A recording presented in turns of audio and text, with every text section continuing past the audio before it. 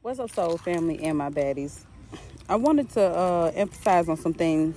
Um, I don't know why I got, just got this energy that people, um, not people in particular, but more so mothers um, and fellas who have been raised by really good mothers um, felt as if I was taking a shot when it comes down to me saying it's a gift to be a mother.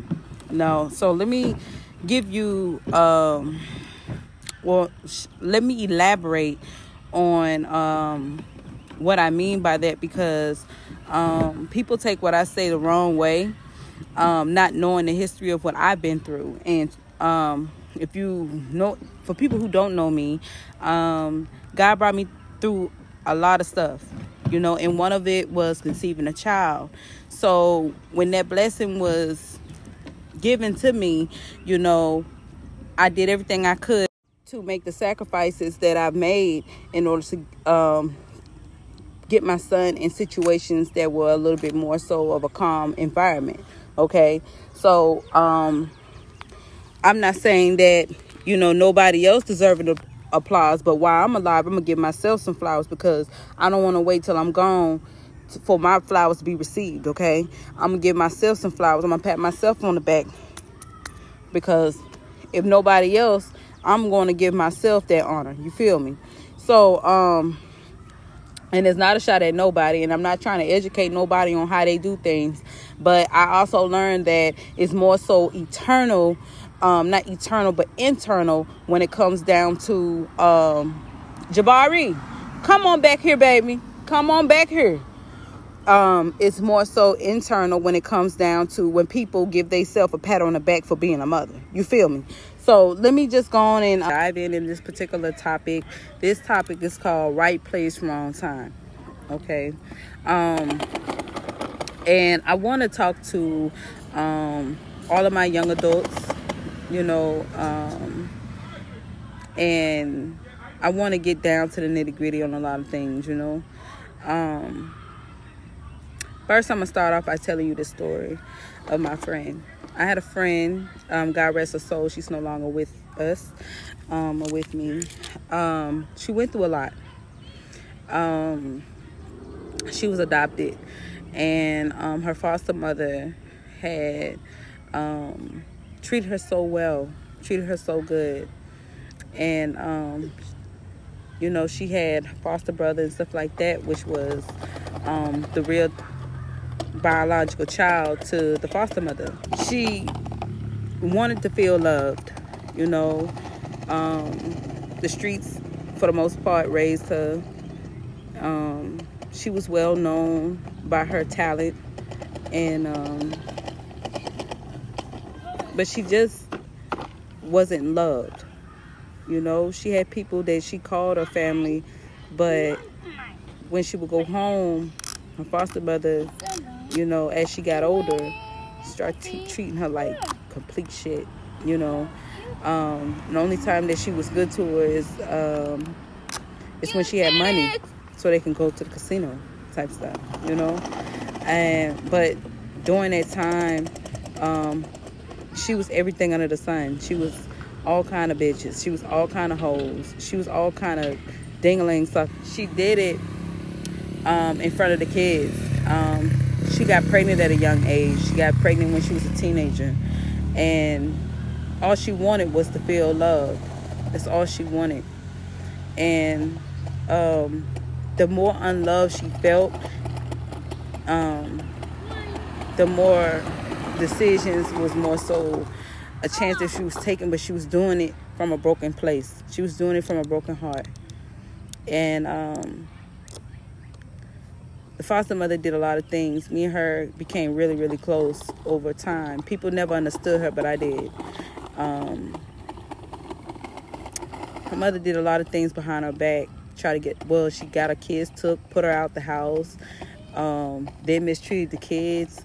It was just like a toxic generational curse that kept going on and on. Broke the family up. Um, just to fast forward, um, she went through a lot. She made friends and then she would lose friends because the way she loved was way different. She loved people the way that she was considered to be loved by the one that raised her. She wanted to meet her real family. I was with her when she did. She was so happy. She was so excited because she went on her way to meet her real family. And um, it was so crazy because she was going to help me find my father. It was, you know, we was going to do it together. But uh, we fell out before we got that far, you know. I was there um, when she met her folks, but it wasn't the same way on the other end due to altercation. But you know, you learn, you, you live and you learn. Um, I said all this um, because um, I know a lot of people are going through this. I know a lot of people have experienced this um, where you don't realize that the things that you went through was not because it was supposed to be that way. Um, it went that way because of how things happen. If, if you was at the right place but at the wrong time. And I say this because you met everybody that you meet, it was meant for you to meet them. But you couldn't control, you couldn't pick your family, you couldn't pick who was supposed to be there in your life. You couldn't pick them. You know, and some people never had their mother in their life.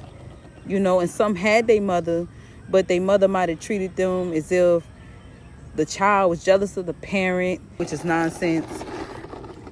Treated that child, no matter how much that child showed them love, they would cope the pain with maybe you should get checked out to cover up how that child really truly felt growing up. And it was only because they didn't know how to heal. They didn't know how to heal. They haven't forgiven themselves because at one point in time, they regretted having you. They felt like you stopped their life. They felt like if you wasn't here, I would have been a whole lot further. God make no mistakes, y'all. I know a lot of people in their 30s felt this way, you know. Might even been some in their late 20s, you know. Early 40s. I know from, I know it's a lot of people now, today, that's experienced or have experienced that. And they just could not understand why they kept meeting these kind of people. You didn't meet these people for no reason. You didn't meet those friends for no reason. You didn't meet them for no it's law of attraction. You was gonna meet them regardless because like attract like. You was your soul called their soul. Y'all souls met on purpose. That's why you was at the right place, but that you felt like it was at the wrong time. God make no mistakes. Okay? They felt like you was trying to challenge them. They tried to compete with you as a mother. They overworked you. Gotta forgive them folks, man. Forgive them. You know, honestly, at one point in time, growing up,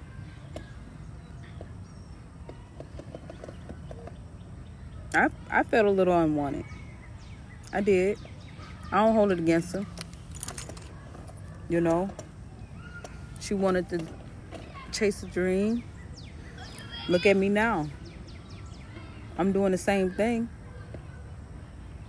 And sometimes you just want to apologize to your parent for slowing their life down, but is it your fault? Really? You know?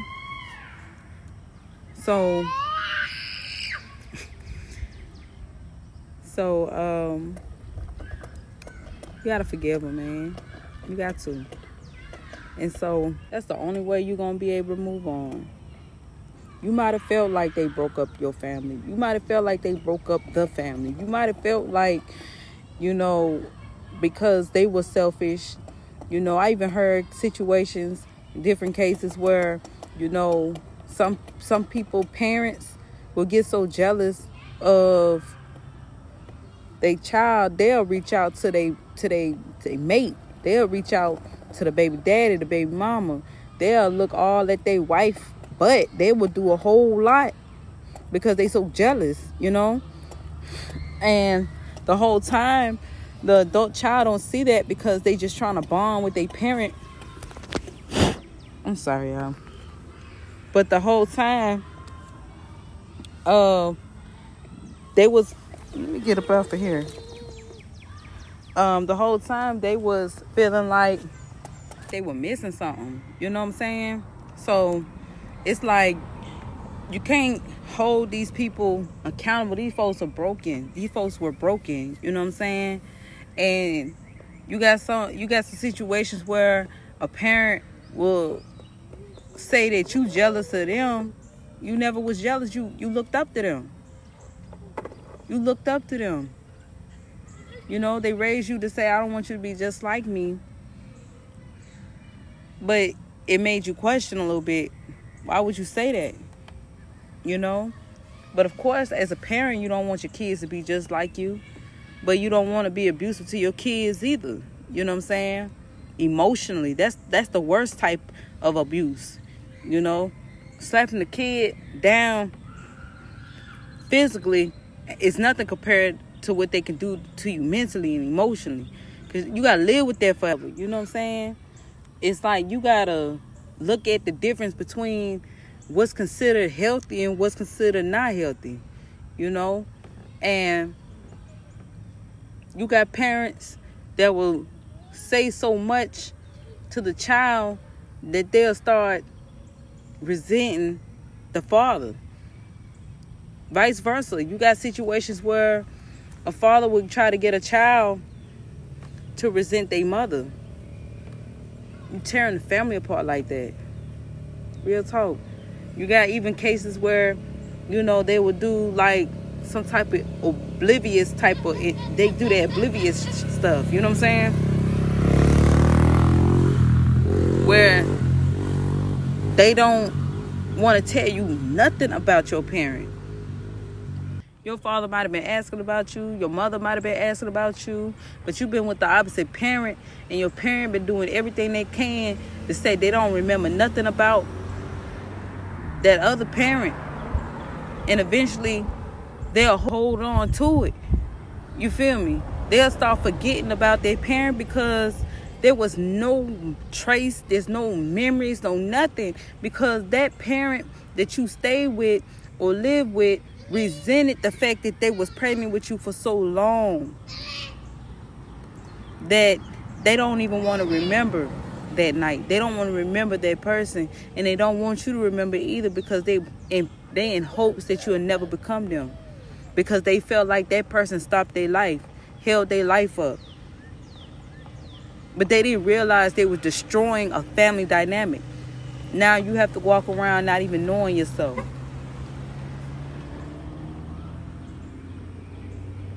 yeah, it's sad. It's sad. But um I'm gonna break the ice though. I'm gonna break the ice. In a heavy way, in a major way.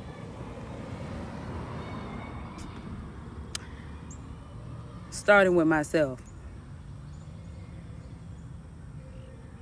I'm not mad at my mother because I love her. If it wasn't for her, what womb would I would have came through? What portal would I would have came through? So I appreciate her. I love her. No matter what, I will always love you. I will always love you. You will always be my queen. My daddy, Joseph, I love you. I don't I don't regret a day that I ever came down here to take care of you. I love you. Do we agree with everything all the time? No. But I love you. I appreciate you. Because you have shown me strength. You have shown me structure. You shown me how to be tough. You have. Taught me how to be strategic. I appreciate you for that. taught me how to prepare myself for anything. I love you for that. Family welcomes me all these years. I love you for that. I have no resentment against anybody. None. To my father, I love you. Joseph, you're my king, but you also a soldier. You're a sergeant. I respect you. My father, Randy, I respect you too. Chief Petty. Without you, I wouldn't be here. I don't care about the past. I don't care about none of that. I'm not mad at nobody. Why? I went there. I'm not mad at you. I will never be mad at you. Have I been frustrated? Yeah, because I was confused. I'm not confused anymore. You a king in my eyes too. Because whatever y'all had going on in the past have nothing to do with me. Never did. I love you. Okay? I don't care what it was. One day I would love to meet my sister. I love her too. I wouldn't even mind meeting the rest of the family. I have a beautiful son. If I wasn't here, my son wouldn't be here.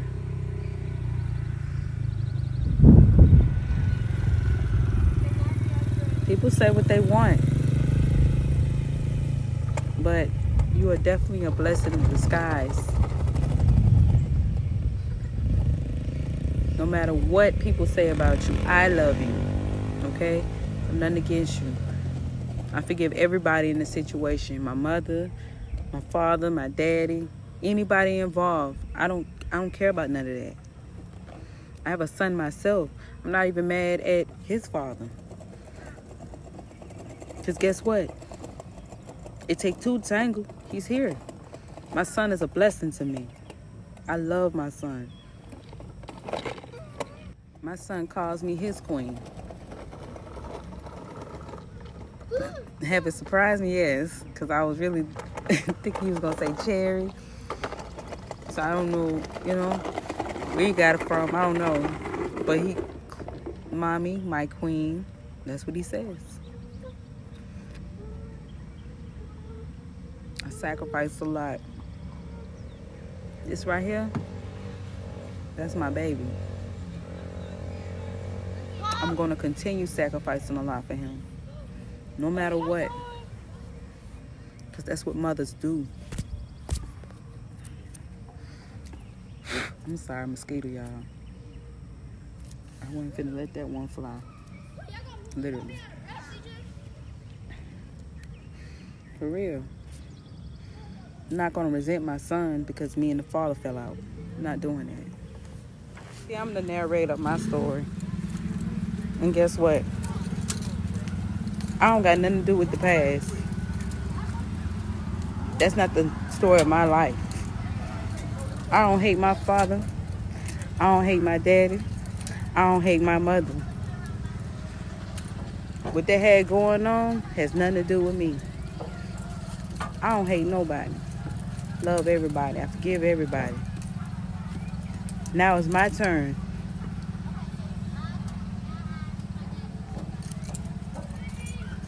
It's my turn now. I forgive my childhood all the way up to my adulthood. I'm letting it go. I'm letting it go, baby. And I feel damn good. You feel me? No weapon formed against me shall prosper. Mm-mm. No evil eye over here, baby. No ill intentions over here. It's all love. I love my brothers. I love everybody, my aunties, everybody. I love everybody. What can you say? I love them. I love them. I love myself. I can't say I I love these people and I love myself. I love myself so much that I love y'all unconditionally. That's how I'm to break the chain. Y'all stay blessed. Y'all stay healthy. Y'all stay humble. But most of all,